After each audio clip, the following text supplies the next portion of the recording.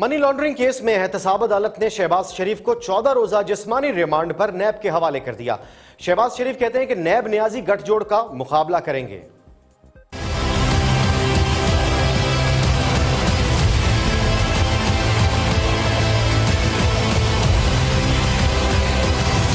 सबक वजी अला पंजाब और सदर मुस्लिम लीग नून शहबाज शरीफ को मनी लॉन्ड्रिंग केस में एहतसाब अदालत में पेश किया गया। इस मौके पर नैब की जानब से शहबाज शरीफ के जिसमानी रिमांड की दरख्वास्त की गई जिसे मंजूर करते हुए एहतसाब अदालत के जज जवादुल हसन ने शहबाज शरीफ का चौदह रोजा जिसमानी रिमांड मंजूर कर लिया और मुलिम को तेरह अक्टूबर को दोबारा पेश करने का हुक्म दिया।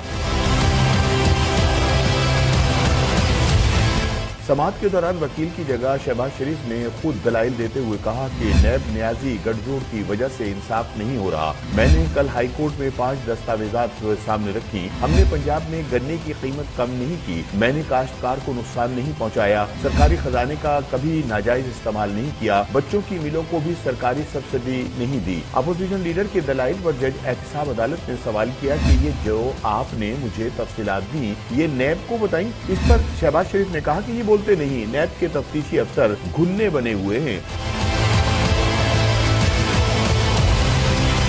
शहबाज शरीफ के रिमार्क्स पर कमरा अदालत में कहकहे गूंज उठे। नैब के तफ्तीशी अफसर ने अदालत को बताया कि कल शहबाज शरीफ से पूछा गया, लेकिन उन्होंने कहा कि मैं कोई जवाब नहीं दूँगा। पहले सब कुछ बता चुका हूँ। दौरान समाज जज ने शहबाज शरीफ से मकालमा किया कि आप खड़े खड़े थक गए होंगे। इस पर अपोजिशन लीडर को कुर्सी दे दी गई और वो बैठ गए। इस मौके आरोप शहबाज शरीफ ने जज ऐसी मकालमा करते हुए कहा की मैं कोई कानूनी दलाइल नहीं दूँगा। जितना अदालत ने रिमांड देना है, अदालत दे दे। अदालत में पेशी के मौके आरोप मीडिया ऐसी गैर रस्मी की गुफ्तु करते हुए शहबाज शरीफ का कहना था कि नैब न्याजी गठजोड़ नाकाम है इसका मुकाबला करेंगे। नैब न्याजी गठजोड़ का इंतज़ाम है उसका मुकाबला करेंगे शहबाज शरीफ की एहतसाब अदालत पेशी के मौके पर पुलिस और रेंजर्स की भारी नफरी तैनात की गई थी। जुडिशल कम्प्लेक्स को आने और जाने वाले तमाम रास्तों को कंटेनर्स लगाकर बंद कर दिया गया था जबकि कारकुनों को रोकने के लिए खारदार तारे और बैरियर लगाए गए थे।